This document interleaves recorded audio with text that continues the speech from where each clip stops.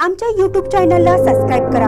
महानकारी news subscribe करा आणि notification on करा. नोटिफिकेशन ऑन केल्यामुळे आमचे अपडेट आपल्यापर्यंत सतत पोहोचेल. गाईचं डोहाळे जेवण मानपान आणि पंचपक्वान. करवीर तालुक्यातील वडिवडी गावात गाईचं डोहाळे जेवण घालण्यात आलं. मी अगदी खरं सांगते तुम्हाला ऐकून धक्का बसेल.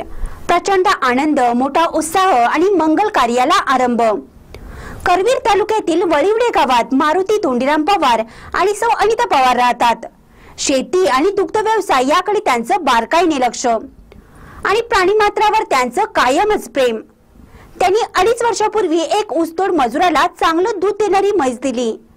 आणि त्यांनी या मोबदल्यात अडीच महिन्याची देशी गाय कालवड घेतली. तिचं संगोपन केलं.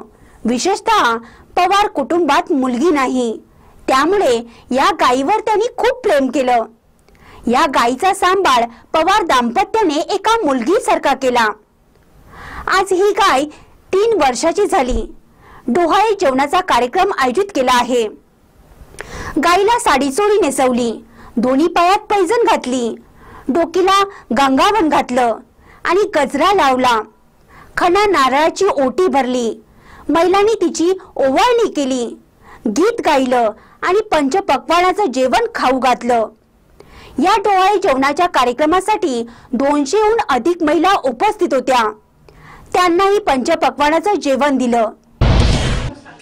माझं नाव अनिता पवार वगैरे राहणार मला आधीपासूनच साध्या गायची आवड होती.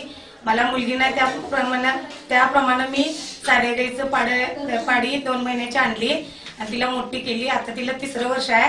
आणि तिचं डोळे जेवण मी माझ्या मुलगीसारखंच केलं. साडी पैंजण गजरा हे जे म्हणजे स्त्रियांना लागते ते सगळं मुलगीला आणलं मी आणि मला आज खूप आनंद झाला.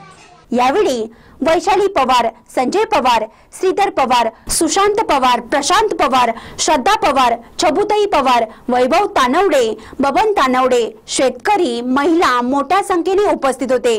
महानकारी न्यूजसाठी पुलाच्या शिरोलीहून कुबेर हंकारे.